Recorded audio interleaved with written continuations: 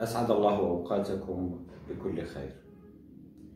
لا يزال هناك الكثير من المنشورات آه، التي تتحدث عن أضرار آه، خل التفاح.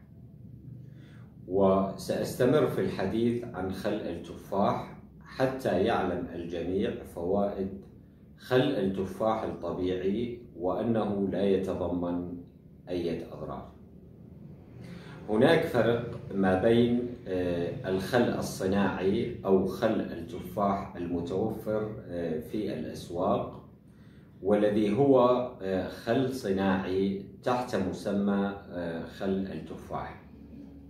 وبين خل التفاح الطبيعي المصنوع من التفاح في المنزل.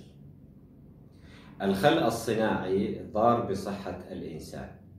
وجميع المنشورات التي تتحدث عن أضرار خل التفاح إنما هي أضرار الخل الصناعي وهو حقيقة ضار بصحة الإنسان.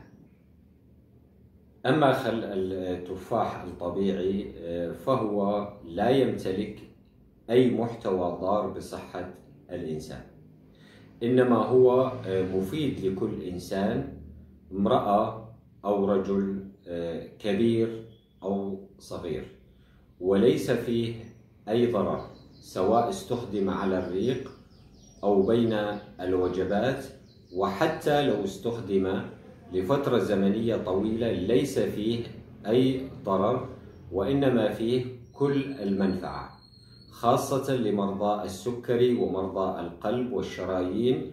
والأوعية وضغط الدم والكوليسترول والدهون الثلاثية. وهو أيضا آه، مفيد للكبد والكبد الدهني والكلى وحصواتها ولمن يتحدث عن أن آه، خل التفاح الطبيعي يخفض البوتاسيوم في الجسم خاصة آه، عند الاستخدام الطويل فكيف ذلك؟ وهو عالي المحتوى من البوتاسيوم. ولمن يقول أنه يسبب حصوات آه، الكلى فهو منظف ويساهم في تفتيت ومنع تشكل حصوات الكلى. بالمختصر أقول عليكم بالخل الطبيعي.